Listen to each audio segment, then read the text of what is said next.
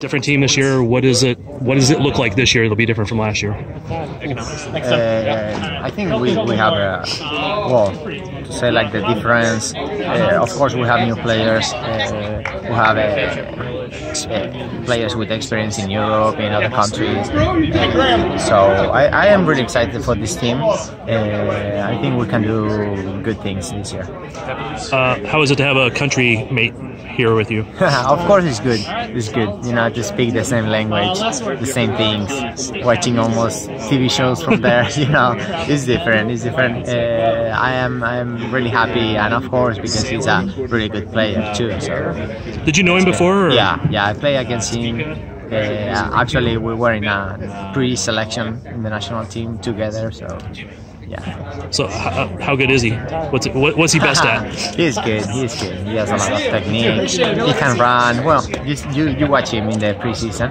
Uh, now we need to uh, put this all together in the in the first game, of course. Then uh, for you, it seems like there's a lot of competition with Khiry for that, that starting center forward spot.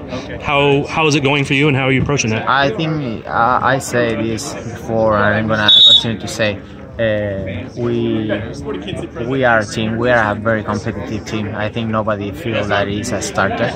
So I think every day, every training, uh, we are uh, we're like in a competition. Of course, in a in a good way, you know. Uh, everybody wants to give the best of, of himself. So I think it's good. It's good for the team. It's good for for the rest of the year. Have very good players in every position. And then this being the first year you actually uh, got the preseason in with the team, how big of a difference has that made for you now? It's good. It's good. It's always good. You know, you, you know the players better. Uh, you know, you have uh, that I say you have new new players.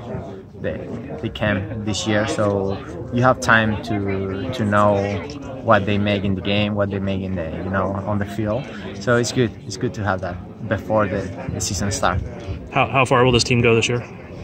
I hope so. I hope so. We we can go on vacation the, December 10th. I hope so. of course. All right, man. Thanks. Okay.